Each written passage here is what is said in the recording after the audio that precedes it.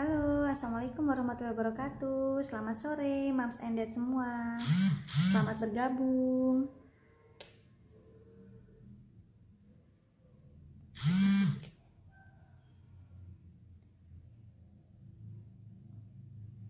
Selamat sore, Mams and Dad semua. Selamat bergabung. Mungkin uh, untuk mengetes apakah suara saya jelas? Bisa di uh, tulis ya tolong di komentar apakah suara saya jelas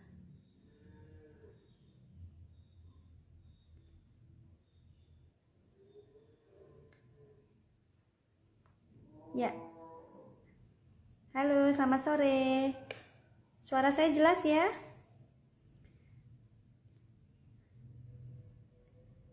Oke, baik. Uh, selamat sore, Mams and Dad semua. Assalamualaikum warahmatullahi wabarakatuh.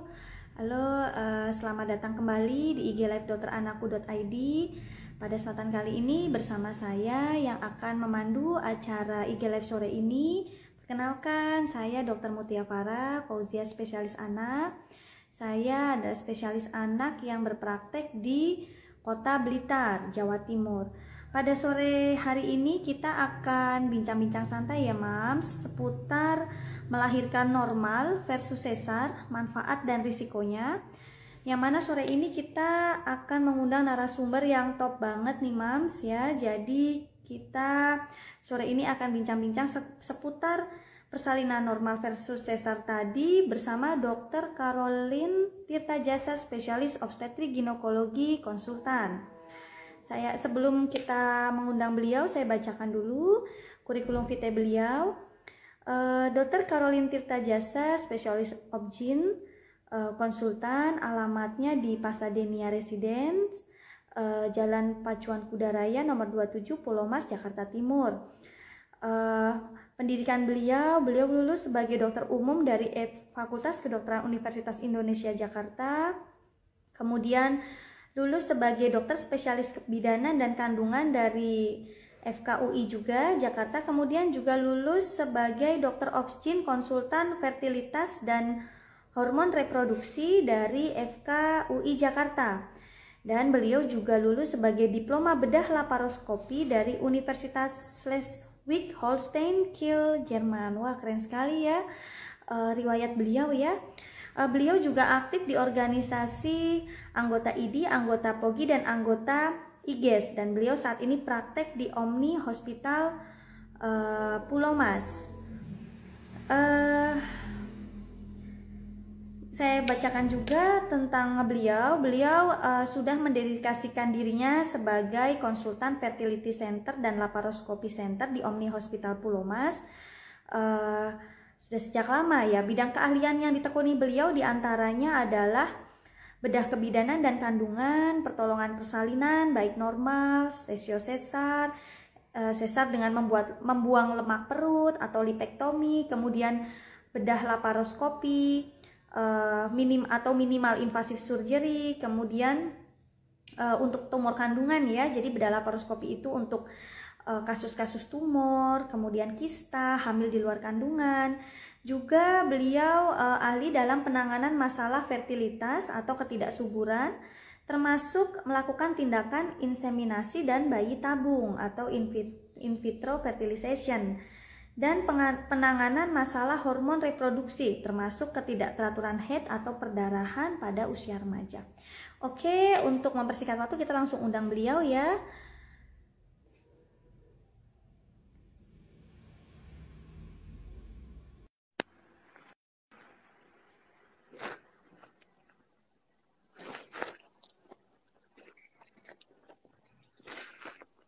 Halo, Halo. selamat sore Dokter Karolin. Sore, apa kabar? Baik, alhamdulillah. Salam kenal ya dok ya. Baru pertama kita bertemu di sini.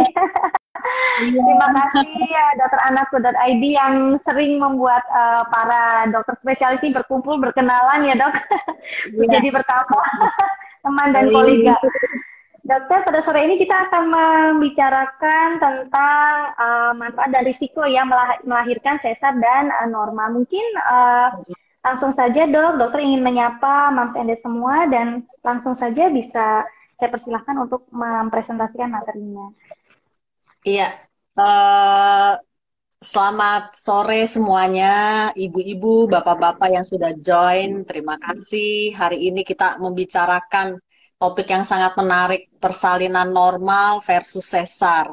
Sebetulnya tidak ada acara presentasi, saya hanya menyampaikan hal-hal uh, penting saja yang uh, ya. akan menjadi bahan diskusi kita ya. ya. Jadi persalinan normal maupun sesar masing-masing ada segi positif dan negatifnya. Yang jelas pada semua jenis persalinan tujuannya adalah supaya ibu dan bayi sehat, selamat, sejahtera. Itu ya. Jadi persalinan normal selalu dia maju duluan diutamakan selama masih bisa dilakukan. Tetapi kalau persalinan normal sudah mentok ya, maksud saya indikasi untuk sesar sudah ada ya kita harus melakukan operasi sesar. Nah, ada beberapa indikasi seksiosesaria sebetulnya, ya itu yang membuat uh, apa sesar itu harus dilaksanakan, ya. Jadi kalau persalinan normal enaknya karena nggak usah uh, operasi, ya. Kalau urusan rasa nyeri itu tentunya sangat subjektif ya. Kalau pertimbangan rasa nyeri tentunya akan sempit sekali ininya ya uh, cara berpikirnya. Karena masing-masing orang rasa nyeri sangat berbeda ya. Ada orang yang malahan pasien saya juga ada yang bilang dok saya kok lahir normal lebih sakit ya daripada sesar. Karena kalau normal itu memang sakitnya itu sebelum persalinan rasa mules itu menimbulkan rasa nyeri juga dan bisa berjam-jam kalau anak pertama biasanya iya, nah betul. sebaliknya sesar kalau dilakukan dengan tips and trick tertentu itu bisa rasa nyerinya sangat minimal kalau pasien-pasien saya sih hari ini sesar, besok sudah bisa jalan, mandi, ya, sudah bisa beraktivitas normal kembali. Jadi eh, sesar maupun normal masing-masing ada positif negatifnya. Nah, hmm. makanya kita buka diskusinya saja ya, biar lebih menarik, langsung saja bertanya dan akan saya jawab. Ya, uh, baik. Uh, ya, itu Mams, tadi uh, sedikit ya pengantar dari Dr. Caroline tentang uh, apa persalinan sesar versus normal ya. Mungkin Mams uh, langsung saja apabila ada pertanyaan seputar tadi manfaat dan risiko persalinan uh, normal versus sesar bisa langsung chat di kolom komentar ya pada sore ini. Mungkin kita bahas dulu dok yang ada di apa namanya pertanyaan di ini ya dok ya di tip IG ya dok. Ada yang yeah. bertanya begini dok, selamat malam dok, bagaimana cara dan tips agar perineum pada saat mengedan tetap utuh dan tidak robek, dok. Oke, jadi perineum itu selalu kalau uh, kita sebagai spesialis kebidanan menolong partus normal itu akan ditahan, ya. Jadi saat kepala bayi crowning keluar, perineum akan ditahan dengan kain steril supaya dia tidak robek. Tapi jarang sekali perineum itu tidak robek sebetulnya, ya. Karena ukuran kepala bayi sendiri diameter biparietalnya itu antara 9,7 sampai 10 cm. Diameter 10 cm vagina ya memang elastis, tapi seelastis-elastisnya vagina, nggak ada vagina yang diameternya nyampe 10 cm itu nggak ada, hmm, ya. Iya. Ada memang, ya, ada memang vagina yang tidak robek tuh perineumnya, tapi biasanya sudah ada anak lima dan lahir spontan semua. Jadi sudah longgar memang. Jadi itu yang membuat vagina itu uh, apa bisa tidak robek karena sudah longgar, sudah uh, otot dasar panggul juga sudah da sangat longgar gitu ya. Kemudian juga kalau perineumnya elastis, dia bisa melebar tuh. Ya, biasanya dokter kandungan yang uh, jam terbangnya sudah tinggi, kita bisa menilai nih, ini perineum yang bakal robek, ini yang tidak akan robek, kita bisa menilai. Hmm. Kalau yang akan robek biasanya digunting, ya. Tujuannya kita gunting perineum supaya robekannya itu rata. Iya. Kalau robekan itu tanpa pengguntingan itu acak adul tuh. Ya, biasanya penyembuhannya juga jelek. Dan kadang-kadang hmm. robotnya bisa nyampe anus yang kita bilang ruptur perine grade 4. Nah, itu uh, biasanya penyembuhannya juga jelek, sering terjadi komplikasi fistel dan yang lain-lainnya ya kalau tidak dijahit sempurna. Uh, karena itu perineum yang akan menilai dokter kandungan perlu tidaknya digunting atau ditahan saja cukup, ya. Nah, uh, ya istirahatkan saja pada dokternya. Jadi tidak ada tips and triknya. Dan kalau ngeden, ngeden biasanya dokter kandungan juga akan kasih aba-aba. Ya, Bu, ngeden. Ya, hmm. kalau nanti kontraksinya sudah hilang, hisnya sudah hilang, tarik nafas dulu, istirahat dulu. Hmm. Di saat nanti hisnya atau kontraksinya datang lagi, disuruh ngeden lagi gitu. Jadi ikut instruksi dokternya aja hmm. gitu. Oke. Okay. Jadi itu ya uh, Bunda ya tips and triknya ikuti perintah dokternya terutama saat mengedan gitu ya. Iya. Baik dok ini ada pertanyaan lagi dari Bunda Vidya. Uh, Bunda Vidya ini merasakan setelah 10 bulan lahiran SC ini kenapa kok uh, sering merasa seperti masuk angin dan juga nyeri di bagian uh, itu dok uh, sayatan uh, SC-nya. Ini kenapa ya dok? Oke, mestinya nanya nanti sama dokter yang mengoperasi ya. Waktu itu teknik mengoperasi ya, bagaimana? Tapi umum nggak sih dok ini atau uh, ini ya tidak selalu ya dok ya? Ini kira-kira kenapa dok? Jadi uh, biasanya ini ya. pada luka sesar itu karena ya. perlengketan bekas operasi itu bisa. Ya, Jadi ya. yang jelas semua operasi black ya, operasi uh, tradisional karena sesar ini termasuk operasi yang tradisional ya masih belek gede gitu beda dengan yeah. laparoskopi kalau laparoskopi kan kita minimal invasif lubangnya cuma setengah mm -hmm. sampai satu senti tapi kalau yeah. sesar yang mau nggak mau kita belek gede karena bayinya gede dan nggak bisa dimorselasi yeah. keluar utuh ya nah jadi pada uh, operasi-operasi tradisional termasuk sesar ini makin besar luka akan makin nyeri Ya, ditambah lagi perlengketan pos operasi. Jadi semua operasi yang modelnya tradisional akan menghasilkan perlengketan sesudahnya. Nah, tingkat perlengketan ini yang akan menentukan rasa nyeri pos operasinya.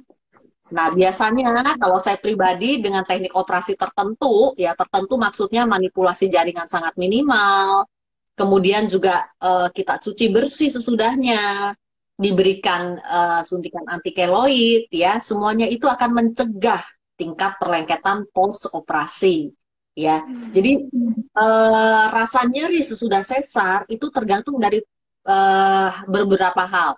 Yang pertama dari bagaimana teknik operasi yang dilakukan. Apakah manipulasi jaringan saat operasi itu sangat hebat? Manipulasi jaringan tuh gerudak-geruduk lah gitu ya. Uh, apa? Main betot sana, betot sini ya itu bisa menghasilkan tingkat perlengketan yang hebat. Yang kedua, tentunya pemulihan jaringan itu tergantung dari nutrisi ibu ya sesudah sesar sama adakah kondisi-kondisi tertentu seperti anemia atau kurang darah hmm. atau kurang protein hipoalbuminemi. Itu juga akan menentukan penyembuhan luka sesudah operasinya. Biasanya pasien-pasien yang sesudah melahirkan baik sesar maupun normal itu sering anemia ya karena itu harus wajib cek uh, hemoglobin ya, cek lab HB hmm. pos operasi atau pos melahirkan. Kalau kurang ya harus ditambah ya, hmm. bisa lewat vitamin atau transfusi darah karena penyembuhan luka operasi akan bergantung dari situ.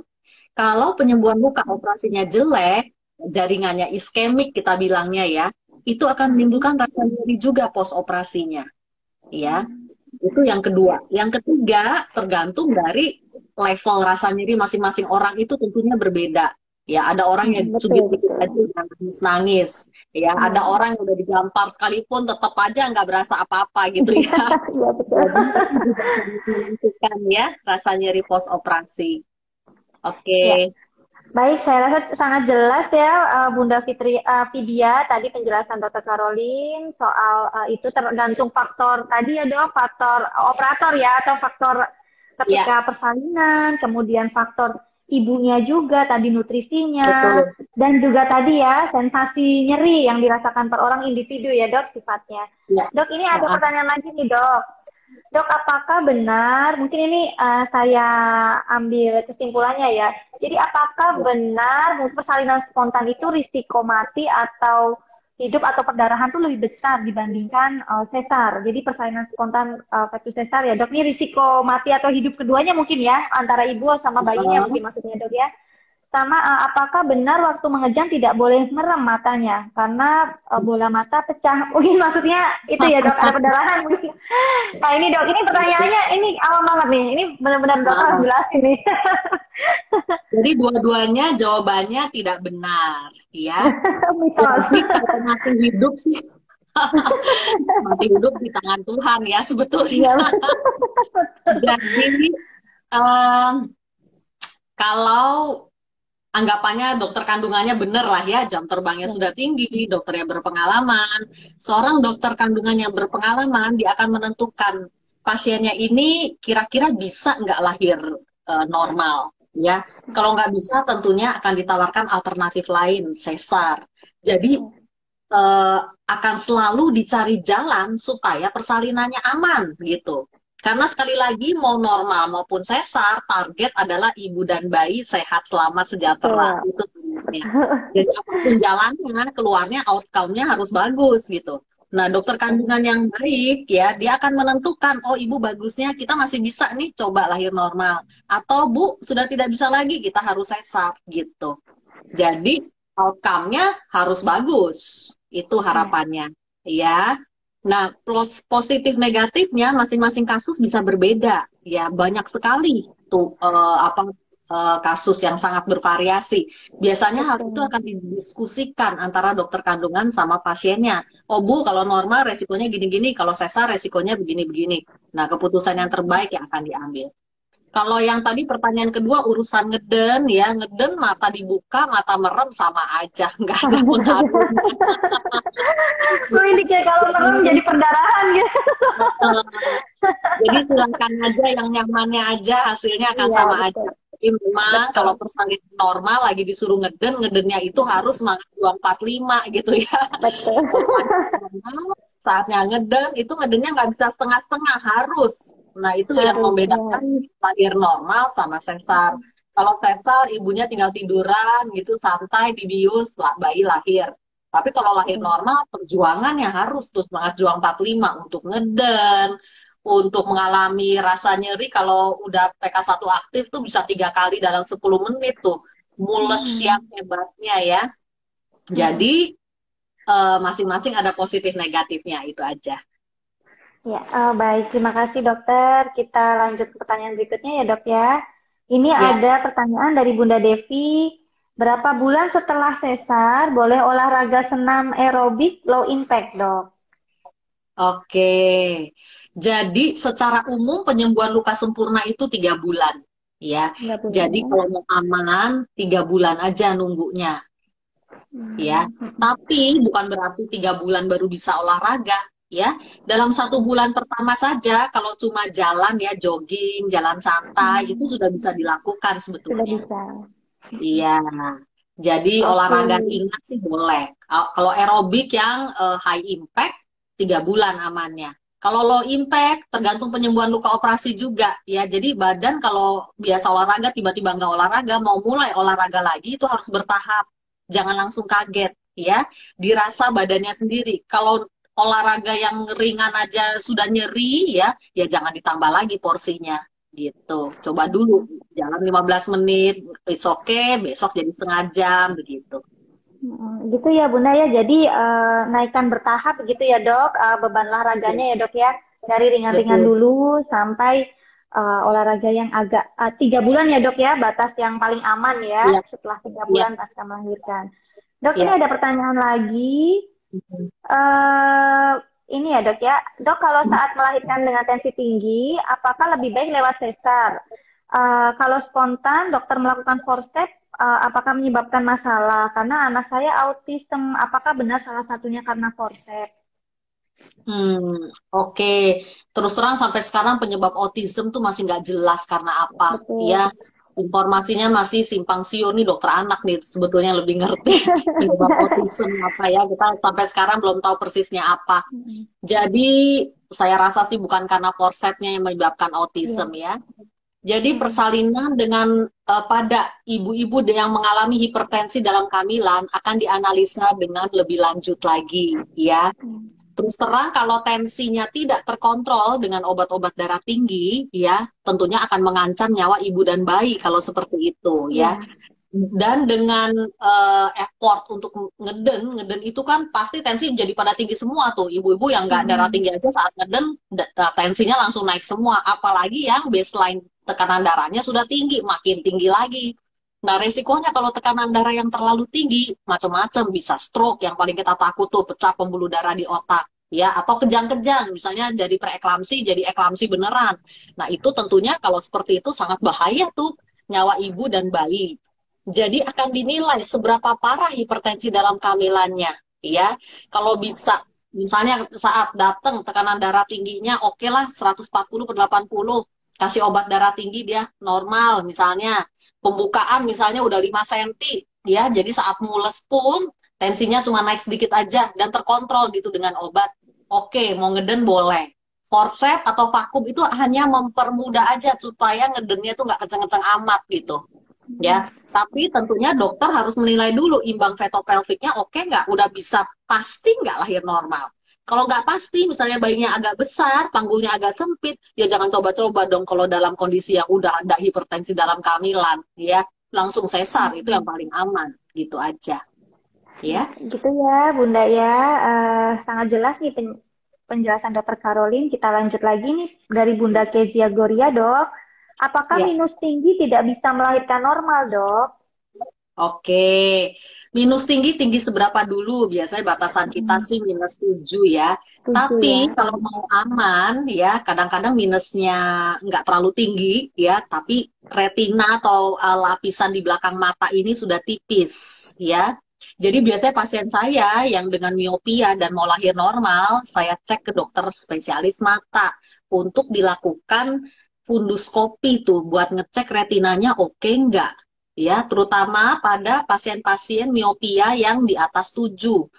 Tapi kalau saya mau safe ya, kalau saya biasanya minus 4, minus 5 itu juga saya cekin semua supaya kita safe. Apalagi kalau anak pertama ya, Uh, uh, kalau anak pertama soalnya kenapa? Ngeden itu mesti kenceng banget kalau anak pertama.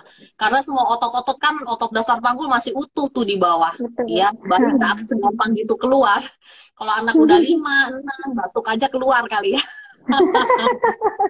aja jadi kalau anak pertama yang jelas effortnya itu harus besar banget ngeden itu nggak bisa ngeden ngeden ecek-ecek begitu nggak bisa harus sekuat mungkin ya jadi kalau mau aman, periksa ke dokter spesialis mata, dilihat retinanya. Ya, cuma dokter spesialis mata soalnya bisa lihat retina. Kalau tipis ya resiko ablasio retinanya besar, sebaiknya tidak disarankan lahir normal, ya.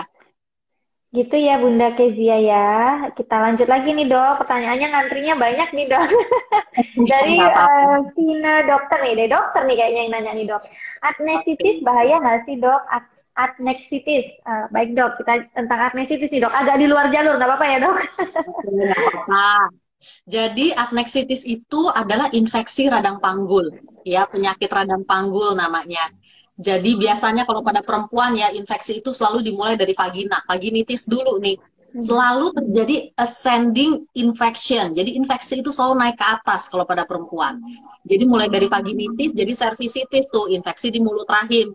Dari cervicitis jadi endometritis, masuk ke endometrium atau rongga dalam rahim. Dari endometritis jadinya salpingitis, masuk ke saluran telur kiri kanan.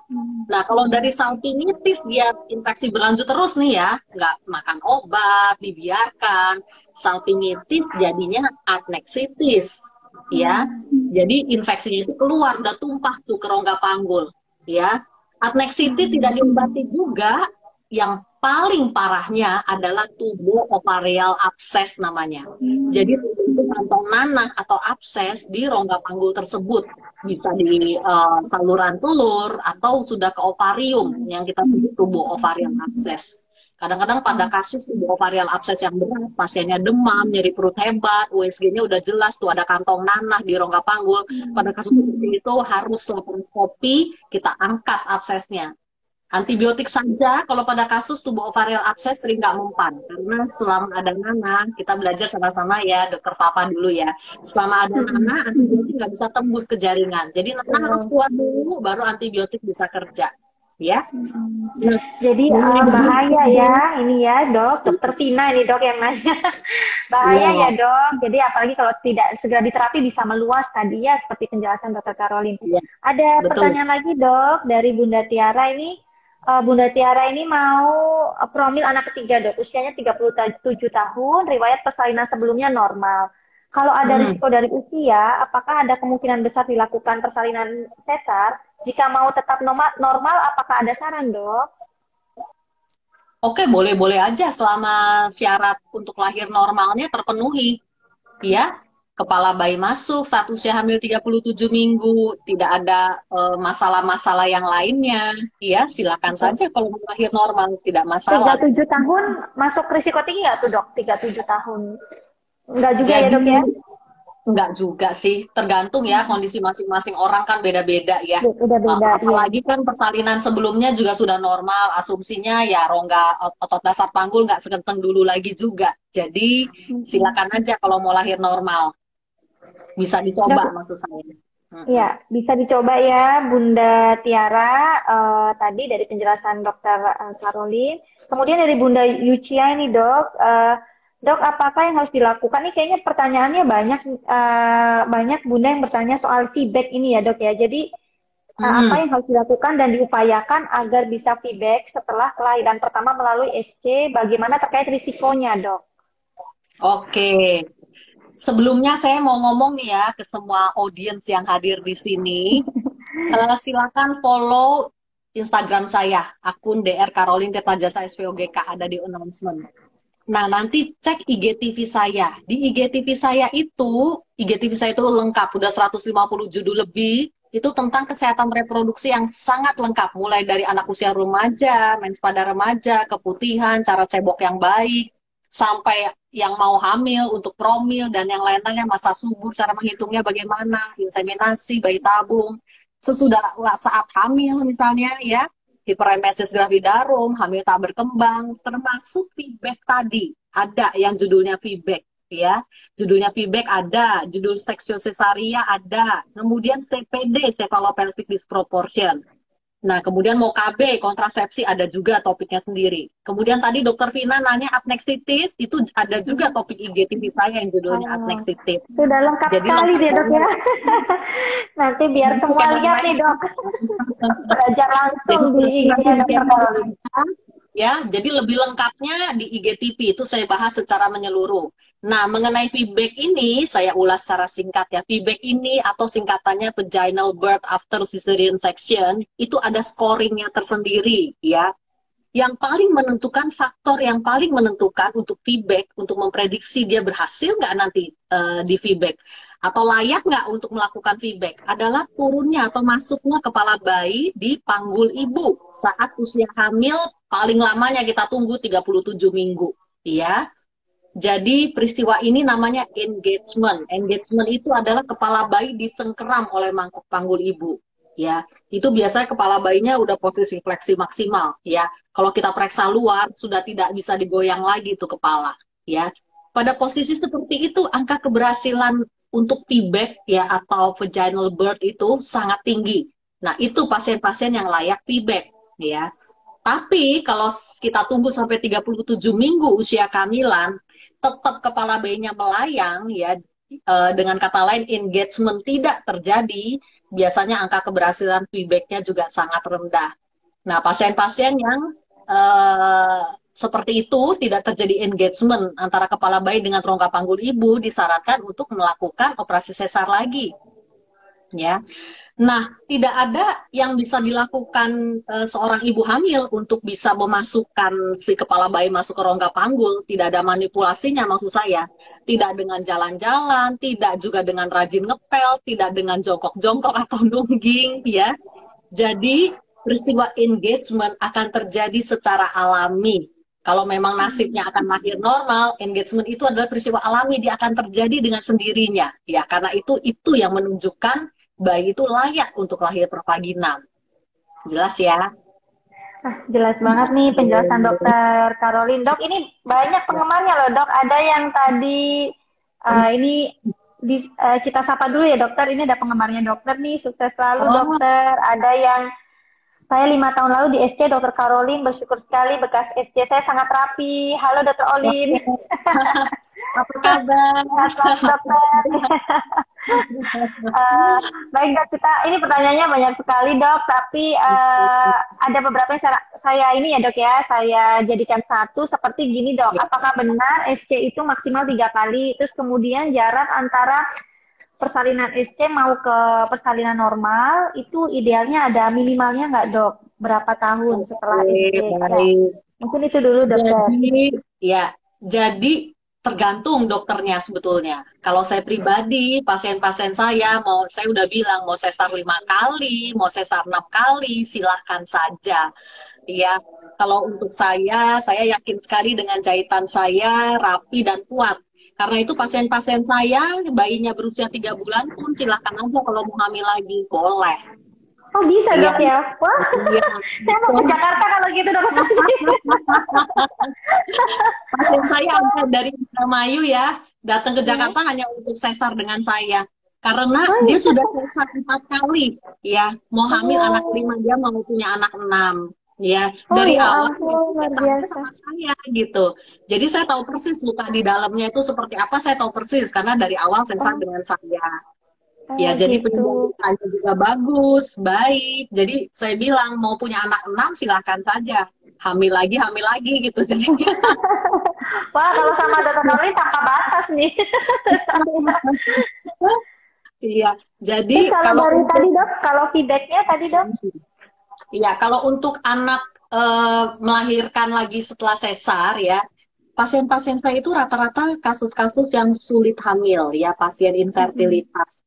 Biasanya saya juga bilang pasien saya juga nggak usah pakai KB kalau mau hamil misalnya target punya anak berapa? Empat misalnya langsung aja dikejar ya karena deadline fertility pun itu umur 35 tahun sebetulnya di atas usia 35 hmm. tahun angka kesuburan juga turun jadi silahkan hmm. dikejar kok hamil juga nggak gampang-gampang amat ya kecuali sudah mencapai target ya umur segitu misalnya targetnya tiga udah gitu ya ya sudah stop gitu iya jadi ya. sekali lagi yang tadi saya bilang tiga bulan, tapi tergantung ya. Kalau dokter lain mungkin nggak akan menjawab yang sama seperti saya. Ya betul, mungkin kalau dokter betul. lain mereka merasa amannya dua tahun gitu atau setahun betul. bisa saja. Ya, ya. rata-rata kalau dokter lain akan menjawab dua tahun biasanya. Dua Itu tahun. dulu.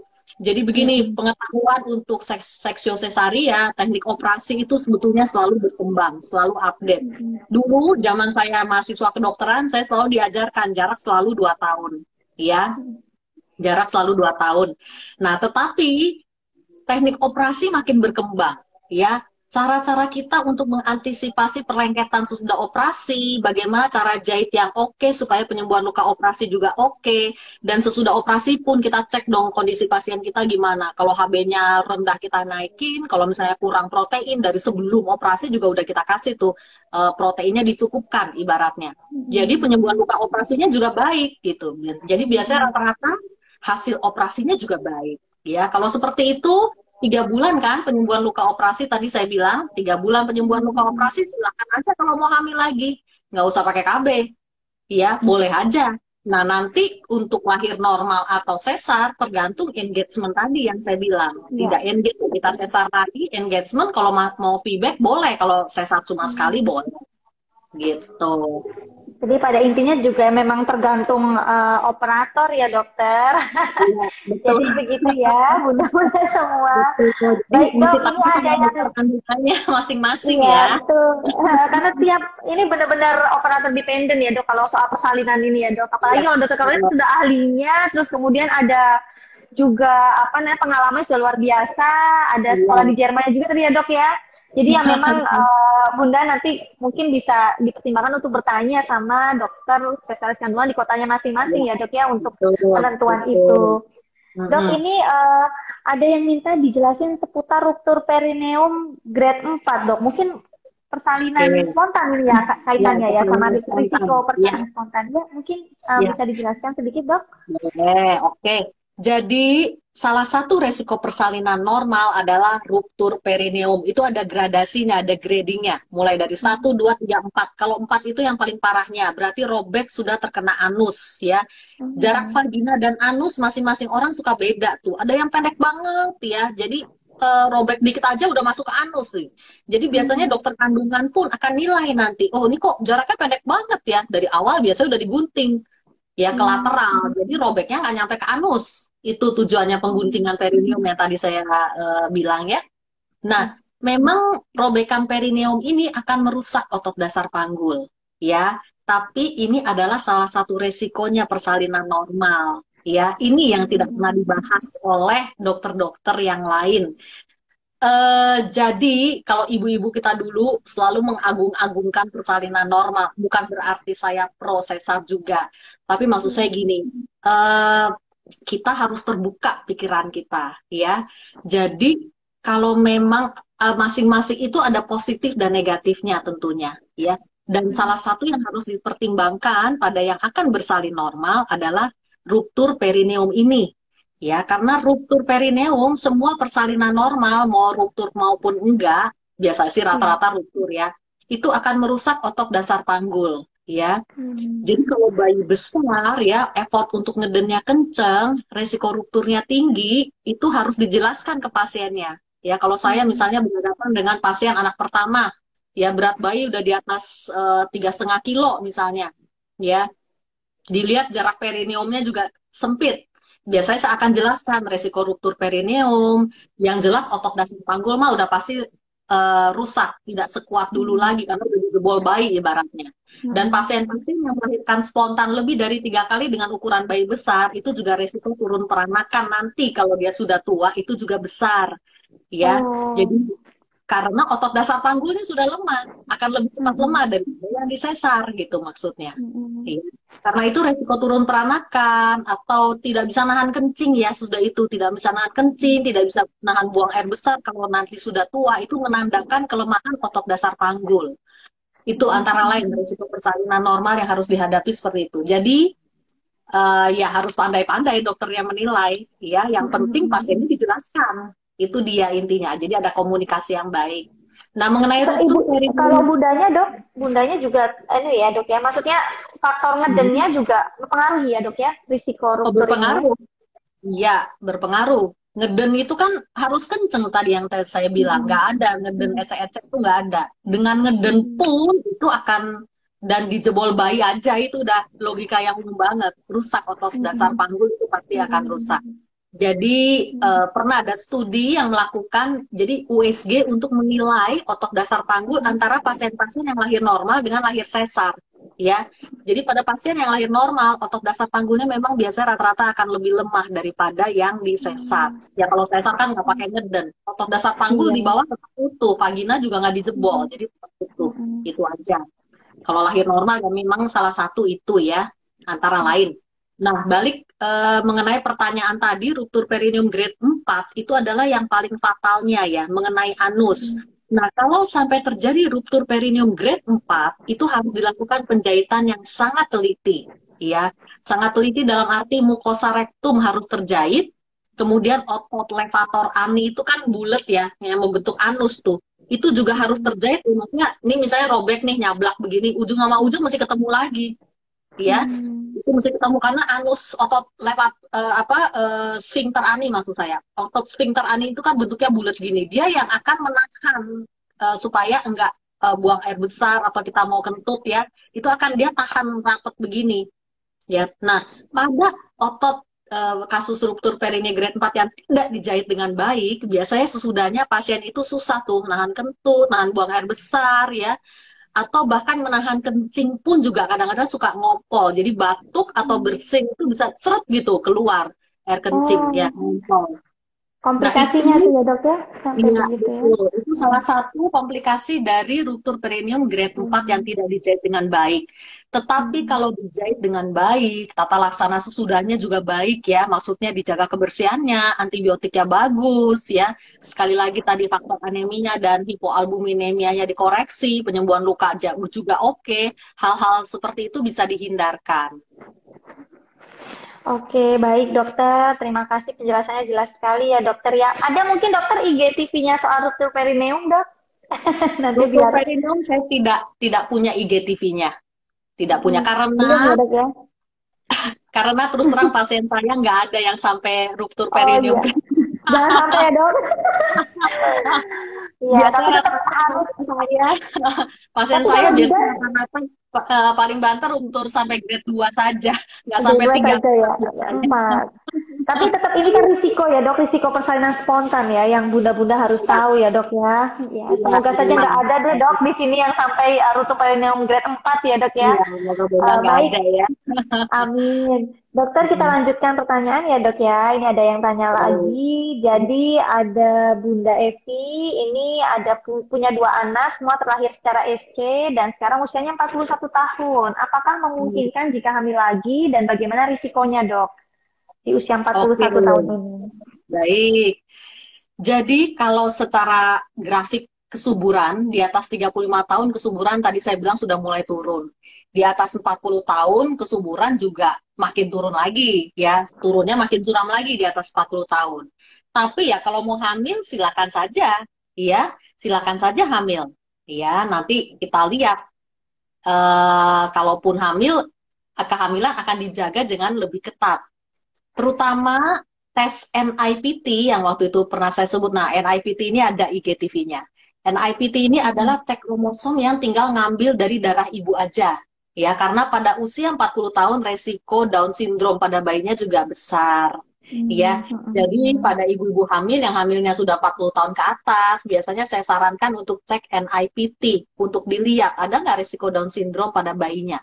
Prosedurnya simple, tinggal ngambil darah aja, terus nanti akan di screening oleh lab tertentu yang bisa melakukan NIPT. Dari situ akan ketahuan.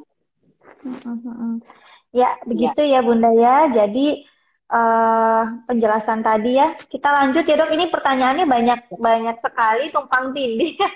uh, mohon maaf dong. Ini dan rata-rata sih sebenarnya pertanyaan mirip-mirip ya Bunda. Nanti kalau misalnya uh, tidak terjawab langsung bisa diputar lagi ya TV-nya nih karena memang banyak yang seputar uh, normal sama sesar dok. Kayaknya bunda-bunda ini galau dok. Jadi apakah harus uh, sesar dok? Tadi juga uh, dari penjelasan dokter tadi dia yang nanya lagi.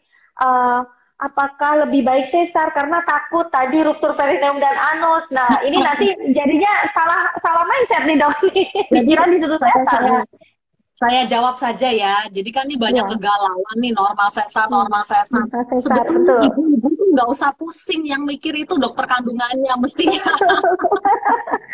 Cuma sering begitu loh dok bunda-bunda nih. Soalnya kadang di sisi lain mereka nih ditekan kayaknya harus alamiah, harus normal gitu. Sehingga iya. akhirnya ketika diedukasi sesar sulit. Nanti dikira dokter nyari dok yang minta sesar. Nah ini dok, ayo dok dikasih petunjuk nih bunda-bunda. Ya, jadi begini. Jadi ibu-ibu tenang saja, tidak usah terlalu jelimet mikirnya. Yang mestinya mikirnya rada jelimet tuh dokter kandungannya sebetulnya. Biar dokternya berpikir gitu maksudnya. Jadi semuanya itu bisa didiskusikan dengan dokter kandungannya masing-masing. Nah, dari diskusi dengan dokternya, ibu-ibu nanti pasti bisa menilai ini dokternya pinter apa enggak sih? Nah, dengan pasti berasa tuh kalau komunikasi sama dokter itu penting ya diskusi selalu dengan dokternya. Akan bisa menilai, oh kelihatannya bisa nih dipegang nih, dokternya bisa dipercaya deh gitu. Ya, ikut dong saran dokter diikuti ya. Jadi mau lahir normal maupun sesar yang tadi sekali lagi saya bilang ya, itu adalah keputusan bersama antara pasien dengan dokternya ya. Dan pasien juga sudah tahu, dikasih tahu sama dokternya, kalau normal begini loh positif negatifnya kalau sesar begini positif negatifnya dari situ kan bisa tuh diambil keputusan bersama seharusnya Betul. jadi nggak usah galau-galau amat kalau saya bilang dokter akan Betul. menilai itu masing mm-hmm. kondisi ibu kayak gimana tentunya satu pasien dengan pasien yang lain akan berbeda ya karena Betul. ukuran panggul aja beda bayinya juga modelnya beda. Ini anak ke satu kedua ketiga keempat aja sudah menentukan tuh ya. Dulu riwayat utuh atau riwayat hipertensi atau diabetes dalam kehamilan yang satu ibu berat badan uh, hamil 9 bulan cuma 70 kilo atau 60 kilo. Yang satu lagi udah 103 kilo misalnya.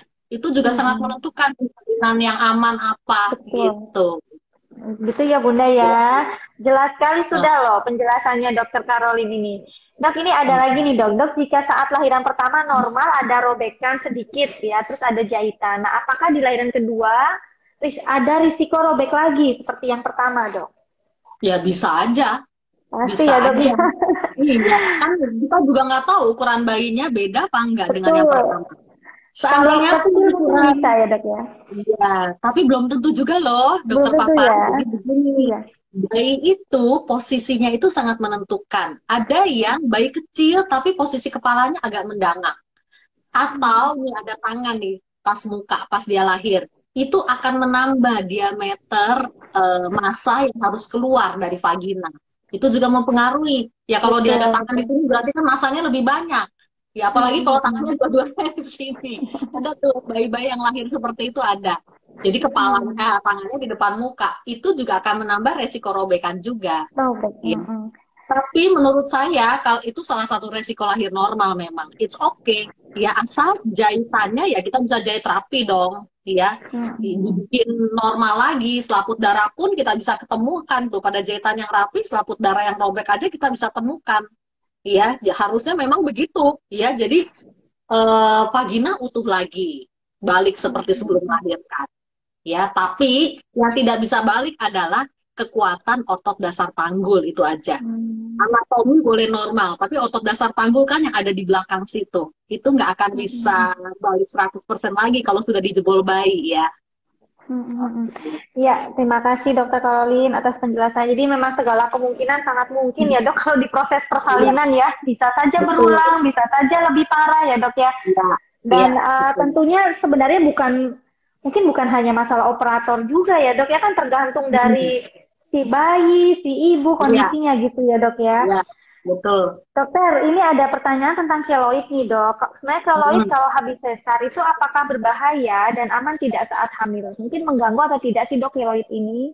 Hmm. Oleh keloid pasca sesar ya, operasi sesar. Baik, jadi untuk keloid ini kalau pasien-pasien saya ya, saya sesar, biasanya langsung saya kasih suntikan anti keloid. Makanya oh. tadi kan ada yang komentar tuh, dok, lukanya juga bagus, licin, nggak ada keloidnya. Karena saya selalu kasih tuh suntikan anti keloid, oh. ya. Tetapi memang pada beberapa pasien tertentu yang bakat keloidnya sangat besar, ya tetap aja muncul keloid. Apalagi kalau tergesek-gesek celana dalam, ya. Hmm. Nah, kalau sudah ketahuan seperti itu, biasanya sesar yang berikutnya, selain suntikan anti keloid, saya kasih salep juga. Supaya, dan hmm. diberitahukan pasiennya, kalau pakai celana dalam, luka sesarnya dilompatin gitu. Jadi nggak kegesek oh, celana. Ya Ya, oh, ngerti ya. gitu ya, ya, tips triknya ya. Jadi tidak ada iritasi kronis, ya. Jadi keloid ini tidak berbahaya buat kesehatan, cuma agak mengganggunya karena ya ada jaringan uh, tebal yang muncul di situ. Secara hmm. estetika memang nggak enak dilihat, ya. Hmm. Uh, tapi kalau misalnya sesar yang kedua, jaringan keloid itu kan diangkat sebetulnya ya. Hmm. Jadi kalau pasien sesar pertama ada keloid nih, pas sesar yang kedua jaringan keloid keloidnya akan diangkat ya dan dijahit lagi. Jadi rata lagi rapi, kasih suntikan anti keloid dan kasih salepnya. Ya, sama dijaga supaya tidak terjadi iritasi kronik tadi. Moga-moga sih nggak keloid lagi. Jadi hmm. pada setiap sesar jaringan keloid itu udah pasti diangkat, gitu aja. Ya, oke. Ini tadi banyak banget yang tanya, uh, Dokter Caroline ini uh, praktek di mana? Sama tolong IG-nya. Ini bisa dilihat ya kalau di bagian atas tuh IG-nya Dokter Caroline. Silahkan langsung segera di follow. Kemudian uh, apa prakteknya dokter hanya di Omni Hospital ini ya, Pulau Mas ya dok ya? Sementara ya. di hanya situ ya. Oke, okay, tuh hanya ke sana. Berarti dari mana-mana nanti bisa langsung ke situ tuh kalau mau nyari dokter Caroline karena cuma di satu tempat nih ya di The bio IG nih dokter Caroline di bio IG ada di IG saya okay, ada di bio. Oke, dokter ini ada yang nanya gini, dok, dok kemarin anak pertama uh, itu ya dok robek sampai anus tadi mungkin ya dok ruptur grade mm -hmm. 4 nih periodenya. Sampai sekarang okay. udah satu tahun buat hubungan masih sakit dok. Ini gimana nih dok? Oke, okay. Jadi sakitnya hubungan itu karena terbentuknya jaringan parut di bekas luka. Biasanya itu, ya. Jadi pada ruptur uh, grade 4 itu kadang-kadang kalau penjahitannya tidak terlalu rapi dan penyembuhan lukanya juga tidak baik, itu banyak sekali bisa terjadi jaringan parut di perineum kita bilangnya ya. Kalau hubungan suami istri kan mau nggak mau penis suami itu bentur perineum. Ya, kalau perineumnya itu banyak jaringan parut bekas uh, ruptur yang dulu, itu akan terasa sakit memang. Apalagi ditambah lagi ya kalau vaginanya tidak rileks ya. Jadi saat hubungan Misalnya, uh, kalau pengalaman saya, pasien-pasien yang ruptur perineum grade 4 kadang-kadang suka nggak percaya diri kalau hubungan sama suami. Hmm. Karena merasa sudah ada sesuatu di bawah ya. Karena itu yang kadang-kadang ya menghambat lubrikasi. Jadi lubrikasi yang terjadi tidak maksimal. Itu juga yang menyebabkan nyeri saat berhubungan atau yang kita sebut dispareunia. Nah, dispareunia hmm. ini ada topik IGTV-nya ya, nanti dikepoin aja. ya, jadi bisa langsung dilihat nih. Ya, jadi ya kalau sakit ya uh, kalau ternyata memang bekas rupturnya itu tidak bisa di repair lagi, ya harus hidup dengan itu. Paling kalau mau dipermudah ditambah jelly aja saat hubungan. Jadi seperti hmm. orang menopause yang hubungannya sakit, ya biasanya kita kasih jelly aja tuh kayak kayak jelly yang isinya kosong, ya. Atau lidocaine jelly juga boleh hmm. dioleskan di penis dan di vagina. Berarti kalau untuk reparasi uh, sebenarnya nggak ada ya dok ya nggak bisa ya? Mungkin maksudnya ada mungkin manipulasi begitu jadi, Uh, jadi begini, kalau lu tergantung seberapa parah luka yang terbentuk ya. Uh, ya kalau keparahan luka sih saya harus lihat ya separah apa ya apakah kita masih bisa repair atau tidak ya. Pada luka-luka yang sudah lama terjadinya itu kadang-kadang jaringannya sudah sangat fibrotik dan kaku hmm, ya. udah bisa tergantung ya, dari situ aja kita bisa lihat bisa enggaknya ditentukan dari saat pemeriksaan gitu aja.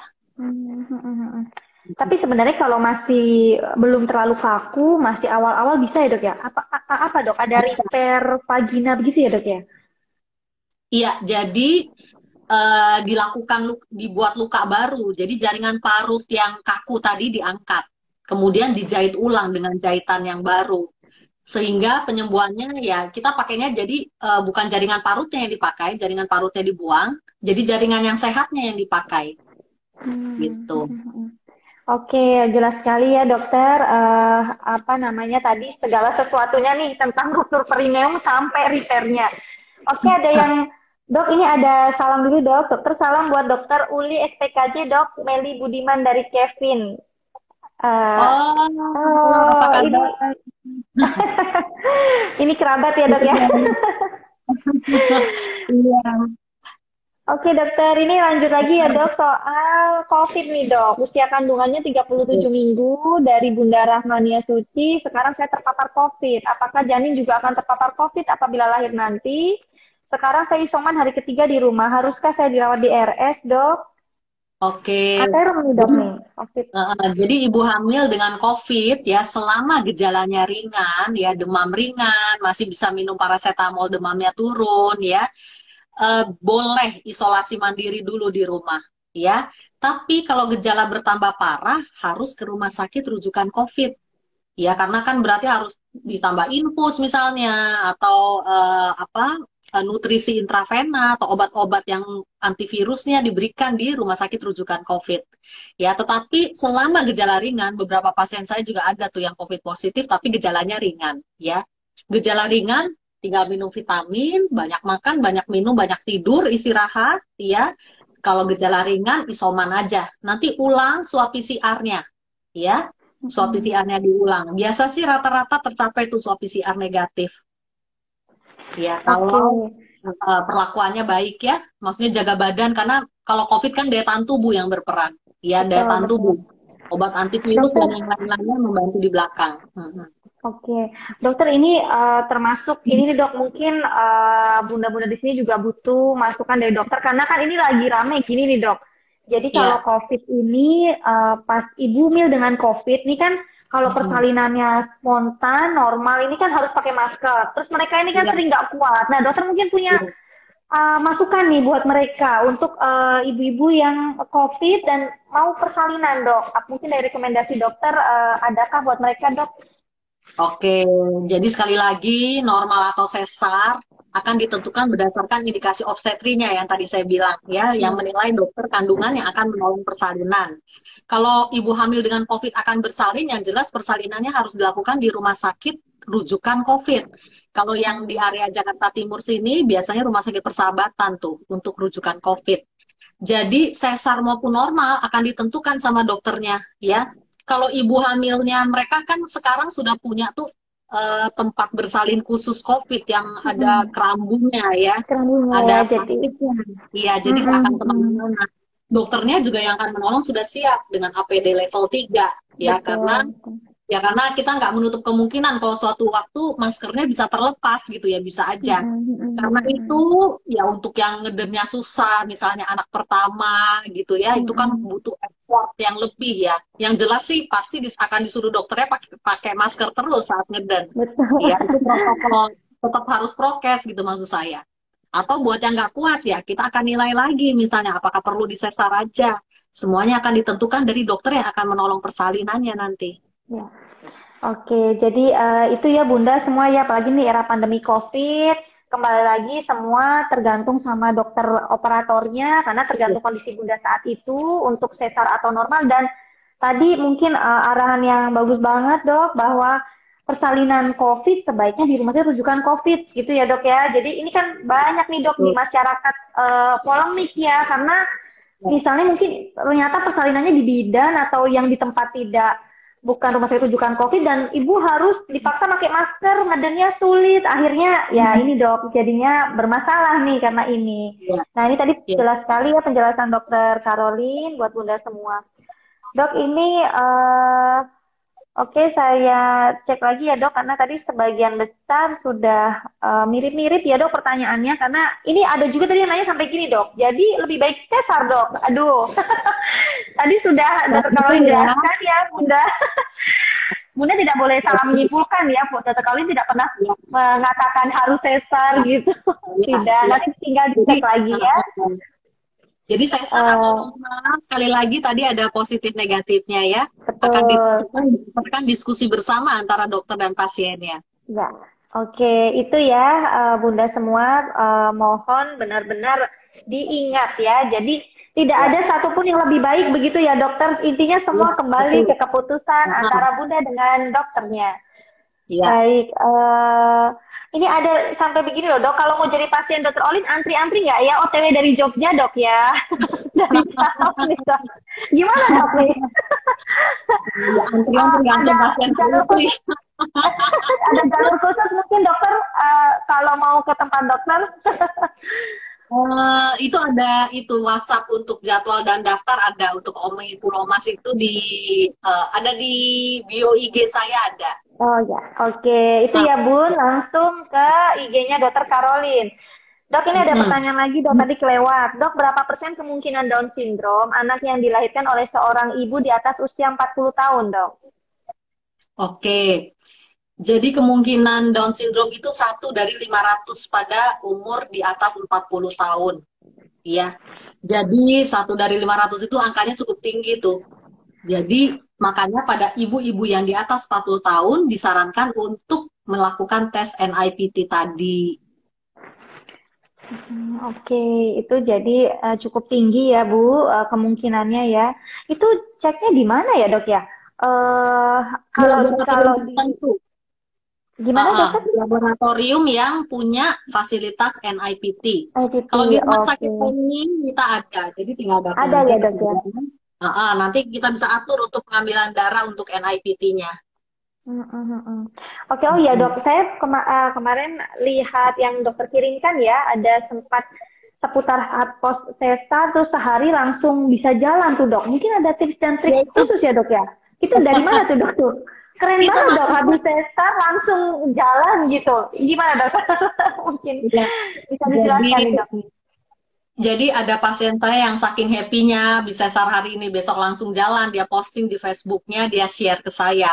Itu saya repost di Instagram saya, bisa dicek nanti judulnya Seksio Tanpa Rasa Nyeri. Ini dokter Fafa udah saya kasih linknya tadi. Iya, Jadi- iya saya lihat tadi. Sekali lagi yang tadi saya bilang sesar itu ya sekali lagi tadi tiga faktor itu ya dokter Fafa ya. Teknik Hmm. operasi yang baik, penyembuhan luka yang baik, sama eh, rasa nyeri tadi, ambang rasa nyeri orang yang berbeda. Itu yang menentukan nyeri post-op sesar. Ya, Tapi banyak jadi ya dok, pasien dokter gitu ya dok ya? Nggak nyeri gitu, maksudnya. eh, di link itu kan ada komentarnya tuh beberapa pasien yang kasih komentar-komentar juga. Itu nanti bisa dilihat di situ. Heeh. Hmm. Wah, ini keren banget nih Dokter Caroline, Eh, bunda-bunda ya yang ada di Jakarta yang mau lahir sesar tanpa rasa nyeri bisa datang ke Omni Pulau Mas ya dok. Dok, ini uh, ada tadi pertanyaan, apakah ibu yang memiliki ambeien bisa lahir normal, dok? Hmm, tergantung grade ambeiennya. Kalau ambeien sudah grade 3 4, ya lahir normal biasanya sih akan tambah parah tuh ambeiennya. Karena begini, ambeien itu sendiri, apalagi kalau ambeien itu sudah muncul dari hamil awal ya, dengan bertambah uh, tuanya usia kehamilan, ambeien biasa juga tambah parah tuh. Yang grade 3, yang grade 2 jadi grade 3, grade 1 jadi grade 2. Karena kalau perut makin besar nih bayi di dalam, tekanan terhadap vena cava kan makin besar juga. Ya, hmm. itu yang menyebabkan uh, kaki bengkak ya. Pembuluh vena pun jadi bengkak. Pada orang-orang yang sudah ambeien sudah ada kelemahan di pembuluh darah venanya. Karena itu nggak heran hmm. kalau ibu hamil uh, hamilnya makin besar, ambilnya juga makin ikut makin besar tuh. Apalagi hmm. kalau dari awal kan suka ada konstipasi tuh, susah buang air besar pada ibu-ibu hamil, ngeden-ngeden itu juga akan menambah parah ambeiernya. Jadi kalau ngeden okay. saat melahirkan, yang jelas sih ambeien akan tambah parah. Nah, dokter kandungan akan nilai nanti level ambeiernya parah apa gitu, masih layak nggak lahir normal. Nanti akan ditentukan berdasarkan pemeriksaan dokter kandungannya. Oke, baik dokter ini pertanyaan terakhir dok. Emang sudah habis waktu kita? Satu pertanyaan terakhir ya biar uh, bundanya merasa dibaca nih pertanyaannya nih. Untuk bunda Wondien dok usia 27 minggu dede masih sungsang itu nggak apa-apa dok. Usia berapa dede posisi sudah tidak akan berubah? Mungkin untuk okay. penutup Baik. Jadi pada usia hamil 27 minggu masih sungsang boleh, nggak apa-apa, boleh ditunggu. Biasanya posisi mantap itu di saat usia hamil 35 minggu ya. Tapi kalau saya pribadi saya selalu menunggu sampai usia hamil 37 minggu. Kita kasih kesempatan dia berputar ya. Okay. Tapi kalau usia hamil 37 minggu masih sungsang, ya berarti dia nggak akan balik lagi. Oh gitu, oke udah jelas banget ya Bunda Dokter. Ini tanpa terasa ya karena dokter asik banget sih dok. Penjelasannya enak, kemudian dokter ini juga sangat-sangat selalu ceria dan ini ya enak banget pembawaannya. Jadi nggak terasa sudah satu jam dok. Terima kasih banyak Dokter Karolin atas penjelasannya sore ini. Saya rasa Bunda-Bunda semua sudah puas ya dan benar-benar pengen nyari nih uh, tempat prakteknya dokter Olim ini. Baik, ya. terima kasih dokter anakku sudah memfasilitasi uh, IG live uh, kali ini. Dokter Karolin sehat-sehat ya dok. Sampai ketemu lagi ya. di lain waktu. Oke, ya. akhirnya saya tutup. Mohon maaf uh, bunda-bunda semua yang ada pertanyaannya uh, belum terjawab pada kesempatan IG live kali ini. Mungkin kalau mau dicek lagi bisa diputar lagi ya IG live uh, apa IGTV-nya di dokter anakku underscore ID dan jangan lupa follow Instagramnya dokter anakku underscore ID dan dokter Caroline Tirta Jasa SPOGK. Semuanya tanpa spasi, huruf kecil semua. Oke, okay, ya. uh, demikian dokter. Terima kasih banyak. Ya. Uh, sampai ketemu lagi. Selamat sore. Assalamualaikum warahmatullahi wabarakatuh.